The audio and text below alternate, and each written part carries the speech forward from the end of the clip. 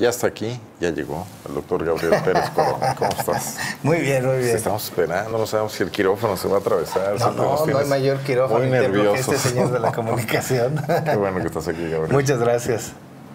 Vi tu adelanto dices, la fati... No, el estrés se viste de rosa. El estrés se viste de rosa. Te, te voy a criticar. ¿eh? Venga de ahí.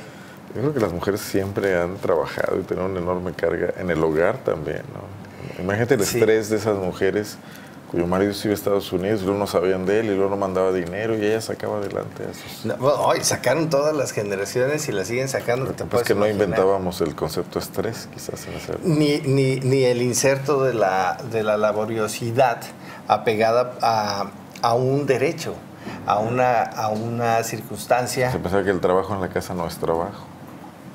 Bueno, aún todavía no es pagado en el, en el completo de la República. Bueno, en el Estado de México sí, porque el candidato del MAS ofreció que va a pagar 900 pesos. Y ofreció sus tarjetas, ofreció esas tarjetas, bueno, que, te, que en algunos, y yo espero que cumpla esta política, pero que debiera ser un no salario les va a dar a formal. los que votaron por él, a los Claro, que no, no.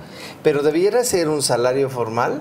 Eh, por eso, por ejemplo, en Argentina, en Buenos Aires, las mujeres ganaron cuando, cuando estas cacerolas, la, la- la lucha en plaza, en, en Plaza de Mayo, y bueno, lo virtieron después de eso a la Ley Federal del Trabajo y a, a órgano constituyente. Eso, eso falta en México. Y esto es una de la política pública y su posterior ejecución que quiero pensar que leyes y reformas progresistas lo lograrán. Pero vamos a tu, a tu ponencia del día de hoy. Mira, ya preparaste. Fíjate, fíjate que, que es interesante, la Asociación Americana de Psicología lo están viendo desde, desde esta fórmula de pensamiento, que las mujeres se estresan más en el trabajo. Ahora, eh, es, es cuestionable decir si una o sea, en mujer y un hombre condiciones son- laborales, un hombre y una mujer, una mujer se estresaría más. Ahí es el tema. Dice por qué. Desde la biología que mm, los cerebros de los hombres y las mujeres eh, son diferentes en sus funciones, en las cuales, por ejemplo, está involucrado desde la ingestión de alimentos, el deseo, por supuesto, todo el sistema hedónico, el deseo sexual y esto donde se regulan las funciones de las tomas de decisiones, por ejemplo, en la parte frontal en la mujer. El dicho es, eh, la madurez se logra a los 21 años, hombres y mujeres, por una corteza prefrontal, es decir, si nos tomamos la mano aquí en la frente, esa área es la que te lleva al criterio. Por eso la mayoría de edad se da en los Estados Unidos y en los países europeos a los 21 años. México está, está rezagado en esta madurez biológica porque el ingreso a la formalidad de votar, de ser adulto, es a los 18. Aquí entonces las mujeres, por ejemplo, eh, indican que estas situaciones de irritabilidad, de inestabilidad, bueno, tiene hasta una fase hormonal y por eso la propiedad de mayor estrés a mayor carga de trabajo. Aquí, entonces, por eso es que se designa que no solo viven más tensión, sino que a defensa de ellas no son las mismas remuneraciones económicas, incluso la Ley Federal del Trabajo te da una diferencia sustantiva menor para el salario de una mujer en el mismo puesto a un, a un- bueno, ese es el Tantas reformas legales que ha habido para la igualdad y eso no se ha logrado. ¿en serio? esto no se ha logrado y no se ha tocado. Me parece que es un por ley se le paga menos a una Claro, mujer. es Digo, un- por costumbre ocurre. Sí. Incluso altos ejecutivos, mejor pagados hombres que mujeres, con trabajos iguales. Pero no sabía que estuviera en la ley. Sí, y lo terrible es que esto está fundamentado por género. Entonces, esta es una propuesta para que el Congreso eh, local federal Tantas burradas que andan legislando y no legislar esto. Esto es lo importante, me parece que esto es lo sustantivo, porque como tú bien dices, la mujer, si no es un trabajo regulado, un trabajo ortodoxo en el sentido de, de la corresponsabilidad de seguridad social, salud, etcétera, bueno, Y eh, probablemente les paguen menos por el tema de eh, los embarazos, ¿no?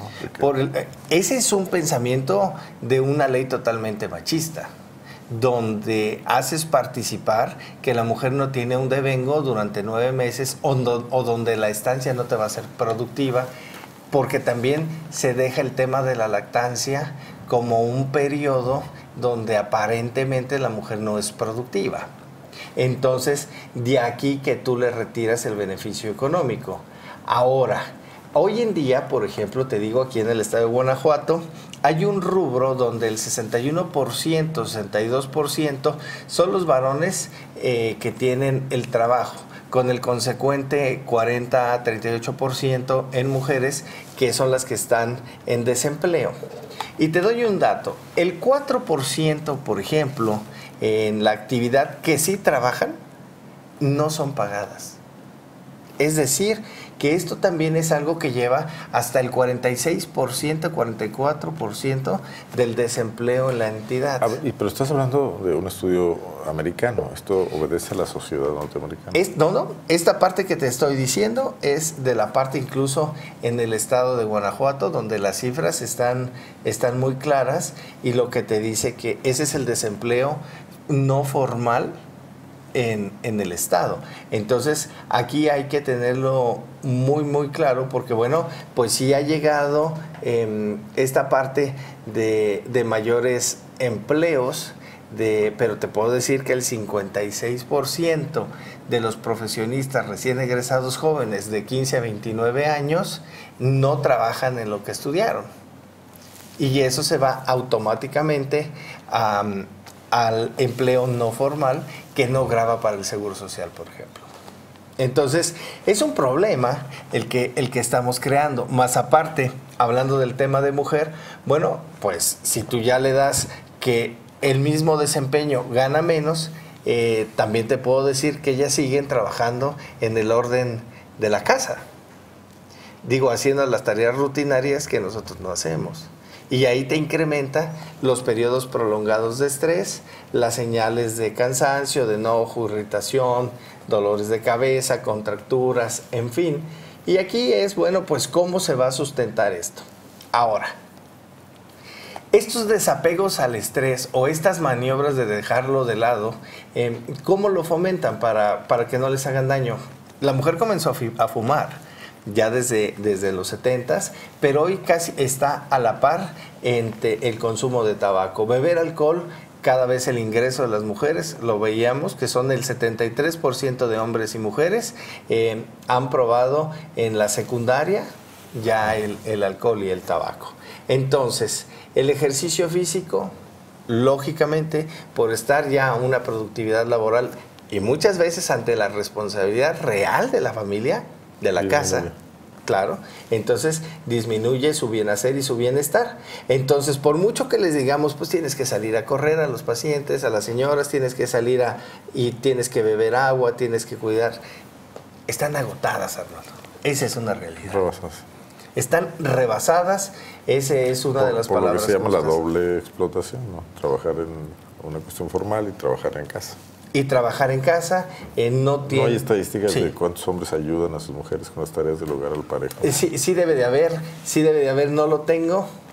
Eh, ¿Estaremos incluidos nosotros ahí? A lo mejor, a lo mejor no, ¿verdad? Bueno. Sí, probablemente. Probablemente sí, está, señor. Acepto. Entonces, bueno, el tema aquí es que sí necesitamos meterle las manos a estos temas, a hacer sentir en la sociedad, bueno, de que hay una variante regulatoria de un ingreso formal para que ellas, ellas tengan sus gastos, sus proyectos económicos y en cada hogar. Tarea Pero es un tema cultural amplio de modificación de patrones y roles en la sociedad. Así es, también que las mujeres... no por eso hay que dejarlo a, largo plazo. No, esto es, esto es de, adjudicarse hoy. Esa reforma en la Ley Federal del Trabajo debería hacerse ya, ¿no? eso debe hacerse ya. Voy a consultarlo, porque me hace raro que mayor presencia de mujeres en las cámaras, que esto ya sobrevive. Muy anacrónico. Así es, entonces ahí es donde... que encontrar el artículo donde eso dice... Lo, ¿Me lo, dejamos de tarea? Y aquí lo tenemos la próxima semana, ¿le parece? Bueno, muy bien, muy bien. Muchas gracias. Ya me voy con mayor conciencia social y trabajo, señor. Muy bien, me parece perfecto. Gabriel Pérez Corona y Biosalud con temas, eh, en este caso, pues más sociales. ¿no? Este es más sociales, a los, asociado al estrés y la salud de ¿Se refleja en problemas de enfermedades? Se reflejan problemas de enfermedades en las enfermedades crónicas, en las enfermedades de crisis agudas, por ejemplo. Estás teniendo en eh, muchas de las ocasiones eh, mujeres jóvenes ingresadas a hospitales eh, por no control de estrés en crisis que, que son verdaderamente serias. Lo que pasa es que el tema de las emociones no sangran y con esto creemos que, que no son enfermedades agudas, pero esto te puede llegar a una sala de urgencias y no la puedes controlar. También eh, nos llegan estas personas con fatiga crónica, que ese es uno de los ajustes más dolorosos porque también se hacen incomprensibles para el, para el patrón, donde ellas eh, te dicen me duele la cabeza, estoy aumentando de peso, me siento muchísimo más cansada. En los casos del Seguro Social, em, vaya, es, es difícil de que una autoridad crea que por fatiga crónica necesitas darle una incapacidad laboral. Y, sería lo más correcto, ¿no? ¿Qué es lo correcto? Porque si ella te dice estoy en incapacidad emocional, incapacidad de fuerza, entonces las personas, por ejemplo, eh, las mujeres muchas veces están en una banda de productividad haciendo el calzado, por ejemplo, aquí, em, tienen un límite de tiempo, incluso eh, te dan cada determinado tiempo para ir a vaciar la vejiga, para ir a orinar, incluso puede no ser permitido. Te pongo un tema. Eh, reciente vi a una señora que trabaja en este transporte de, las, de las orugas y ellos en la caja, la señora, no tiene una, un sustituto, siempre tiene que estar cobrando. Entonces, ella, por ejemplo, sufre un mal de infecciones de vías urinarias, sí, pero no tiene quien la sustituya. Entonces pasan hasta cuatro horas para que ella pueda ir a vaciar su vejiga. Entonces ya se te, ya se te hace un tema de salud. Claro, bueno.